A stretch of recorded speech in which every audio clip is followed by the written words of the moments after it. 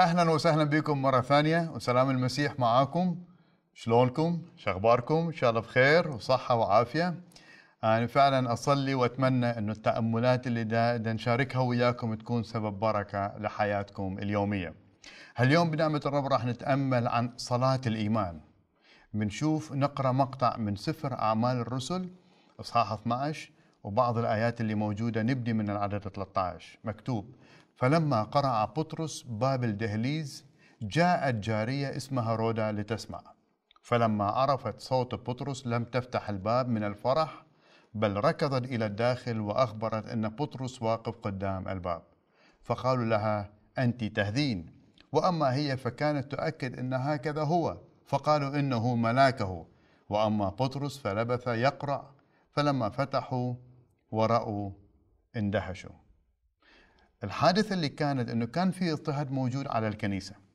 يعقوب قبل كم يوم انقتل. بطرس كان في السجن. والكنيسة مجتمعة بتصلي من أجل بطرس ومن أجل الأوضاع اللي موجودة. بطرس طلع من السجن. رد الفعل الكنيسة كان عكس اللي متوقع. يحكى أنه أكو مجموعة فلاحين يوم من الأيام اجتمعوا لكي يصلوا لله أن ينزل مطر على أراضيهم. لكن واحد من الأطفال راح وياهم وشال هو شمسية وياه حماية من المطر اللي راح ينزل بسبب الصلاة والإيمان. هذا هو نتيجة الصلاة. من تصلي أنت لازم تكون مؤمن أنه الله راح يسمع وراح يتدخل.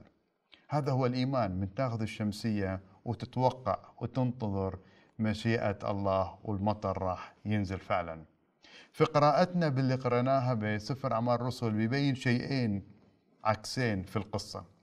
التلاميذ مجتمعين ويصلون من أجل بطرس من أجل بطرس. واللي كان في السجن بسبب الاضطهاد. والرب دا يدز ملاك ويطلع بطرس من السجن لكن ردود فعل الكنيسة والمؤمنين كان سلبي. كل الوقت بيفكروا إنه مو بطرس أو يمكن ملاك بطرس. وأنا مستغرب شنو نوع الصلاة هاي اللي إحنا ما نؤمن إنه الله ممكن يجاوبنا. يفضل بصراحة إنه واحد ما يصلي إذا ما تؤمن إنه الله يقدر يسوي معجزات. لكن هاليوم إحنا بنؤمن الله يقدر يسوي معجزات بحياتك. خلي مواضيع مواضيعك بين الرب وصلي بإيمان. يا رب يسوع جاي لك يا رب بهذا الوقت نصلي ونطلب يا رب. زد إيماننا لكي ما يجي نصلي من نجي ونصلي إلك. عندنا كل الثقة والإيمان أنك أنت تقدر تسوي المعجزات وتقدر يا رب تشفي وتقدر يا رب بتحرر من قيود معينة وتقدر يا رب تخلص الناس اللي حواليها باسم المسيح يسوع أصلي. آمين. آمين. الرب يبارككم ونشوفكم بالحلقة الجاية.